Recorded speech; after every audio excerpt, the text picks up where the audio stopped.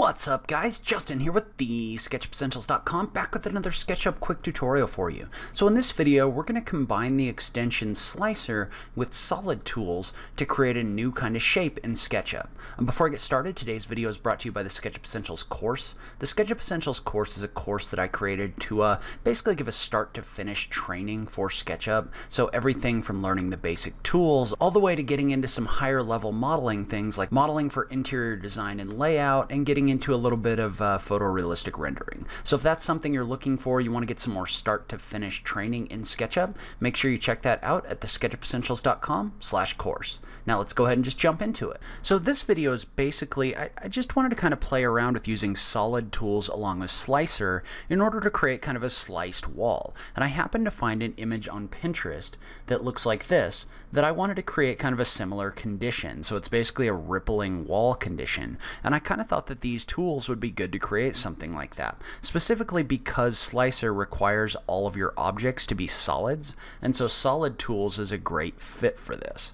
And so I'll link to a couple tutorials on how to use Slicer and also how to use uh, Solid Tools down below. But let's go ahead and just start off and let's create our wall. So I'm going to activate the rectangle tool by tapping the R key and I'm just going to set my base point. And then I'm going to set my wall. We'll go ahead and call it, for now, we'll call it 6 inches thick by 20 foot long. So I typed in 6 inches, comma 20 feet. And then we'll go ahead and we'll say that this wall is 10 feet high. So I'm going to push pull this up 10 feet, just like this. And I'm going to go ahead and delete out my default model. First thing I'm going to do is I'm going to take this and I'm going to create a group. So that way all of this geometry is in a group and you can see how this is in here as a solid. And so the next thing I'm going to do is I'm going to draw a couple circles on this wall. So I'm going to start off and I'm going to draw a 12 inch circle. And then I'm going to come in here, I'm going to select everything, and I'm going to right click and I'm going to click Find Center. And that just gives me a center point right here that I can use to draw more circles. So I'm going to come in here and I'm going to draw a two foot wall, a three foot or a two foot circle, a three foot circle, and that's basically what the radius of these is, and then a four foot circle. So I've got my kind of uh, I've got my kind of guide paths in here for how I'm going to create this geometry that we're going to use to make our rippling wall. And so one other thing you may want to do is you may want to come in here and just start thinking about how thick you want this to be. So to do that, I'm just going to come in here and I'm just going to draw a circle real quick. And so in this case, I'm going to draw this circle and what I did is I activated the circle tool by tapping the C key. Then I tap the up key to lock it to the blue axis. And then what I can do is I can come in here and I can draw my circle and I can just kind of think about how big I want this, um, this to stick out from this face. So you can see how I can just kind of come in here and just kind of eyeball it and see how far out I want that to be. And if I wanted to, I could draw a circle and then use the move tool in copy mode. So you could just double click to select this, tap the M key, and then tap the control key to activate copy mode. And I could just click on this point and I could move it over here. And I could just kind of look and see if I thought these arcs were going to be the right size.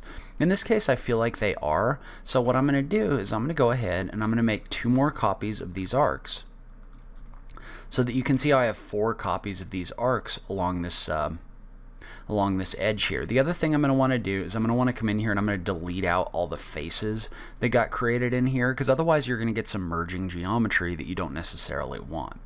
And so what I can do is I can either hide my wall or I really don't need to if I don't want to. Um, but if you hide your wall, you can see how you have a series of four circles right here. And all you're going to do is you're going to click on this line to select it as a path. You're going to activate the follow me tool and you're just going to click on this circle. And you're going to do that for each one of these. So I'm just selecting the path, activating the follow me tool, and then clicking on the circle. So you can see how all of those are now in there as actual 3D shapes. And so what you're going to do is you're going to triple click on these and you're just going to right click and you're going to make each one of them a group. And one thing to note when you do this is if you click on these, SketchUp sees all of these as solid groups. Meaning, if you basically the best way to describe solids is if you were to take your 3D shape and to fill it up with water, there wouldn't be any leaks. So it's completely enclosed. And so you can see how this will tell you that this is a solid group and it'll also give you a volume if these are in here as solids. And that's very important if you're going to use the extension slicer because it only works on solid models. And so now what we're going to do is if we wanted to, we could probably come in here and do this the long way of, whoops, I'm going to unhide my wall here. We could probably do this the long way of coming in here and using slicer on each one of these. But in this case, what I want to do is I want to combine all of this into a single object. And so to do that, we're going to use solid tools. And you could also use an extension like Bool Tools if you don't have the Pro version. You can download Bool Tools, which basically has the same functionality, but you don't have to buy the Pro version in order for it to work. You can just buy that extension. So either way, what we're going to do is we're going to use the merge function or the outer shell function in order to do this. But the first thing we want to do before we work with solids at all is we want to save our model. So I'm going to do a file, save as, and save my model. And so once you've saved your model, what you're going to do is you're going to start merging these together. And what I want to do is I want to go ahead and turn on x-ray mode in my views just so you can see what I'm doing. And the other thing you may want to do is you may want to come in here and I'm going to go ahead and hide all of these for just a second, but you may want to take all of this and either delete it or just move it out of the way. I'm going to move it out of the way just in case I need it. And for now, I'm actually going to leave that center point right here. But I'm just going to move the rest of this off to the side. And then I'm going to unhide my stuff again. So now this path isn't actually in here as a part of this. It's not going to be getting in the way of anything. And so what we're going to do is if you look inside the wall right now, I'm going to go ahead and hide this geometry so it's not in the way. If you look inside the wall right now, you can see how basically these just kind of exist in the same space as the wall. Well, what we want to do is we want to merge them into a single object. And so to merge them into a single object, you're going to go into Solid Tools, and you're going to click the option for Outer Shell. Or in Bool Tools, I believe it's the Union tool. And so what you're going to do is you're going to click on Outer Shell, and it's going to ask you to select your first solid. Well, in this case, that's going to be our outer loop, and then the second solid is going to be our wall. And so now, if you were to rotate in here, you can see how this combined those two solids and it deleted out the extra geometry. So now if I click on this outer wall, you can see how it actually has a volume associated with it, and it's still in here as a solid, meaning meaning we can use the extension slicer in order to slice it up. And so all you're going to do is you're just going to do the same thing for the other three circles in here and you can actually just come through and click on each one of them. And so you can see since x-ray mode is on, you can see how these all just merge into your wall now. And so it has a volume and it's a solid. And so now if I was to turn this off, you can see how I have these loops on the face of my wall. And so now we can come in here and we can use Slicer. And before we use Slicer, we want to make sure we save our model because this creates a lot of extra geometry and you're never 100% sure what that's going to look like. So in this case, we're going to go in and we're going to activate the slicing tool within Slicer. And so what we want to do is we want to slice this on the up and down axis. And so we're going to select the z-axis. The z-axis is the blue axis, the straight up and down. And there's several different options in here. One thing I would recommend, especially if you have a slower computer, is if you're not planning on CNCing this shape or anything like that, you may want to turn off the option for flatten because if you tell this to flatten this, then it's going to take all of your shapes and it's going to lay them out behind this on the ground so you can see each shape because this extension works really well for creating things like CNC and other stuff like that. But we don't need that in this case. So in this case, what we're going to do is we're going to go ahead and we're going to set our spacing. I'm going to start off my spacing between each slice is going to be 2 inches, and then the thickness of each slice is going to be 1. So you can play around with those to adjust the space between your different slices. And then I don't really care about the rest of these right now, so I'm just going to go ahead and click OK. And what that's going to do is that's going to run Slicer along your wall. And so you can see how this generates basically that rippling wall that we were talking about.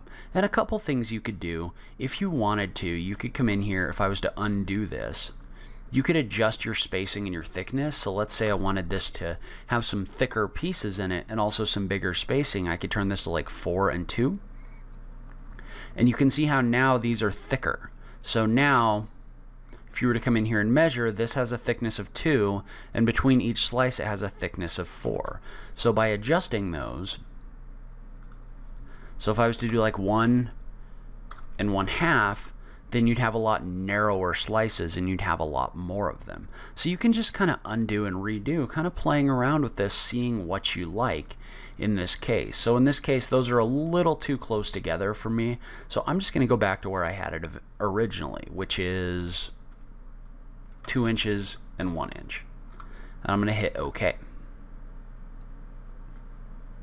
And so you can see how now we have our rippling wall created in here in SketchUp.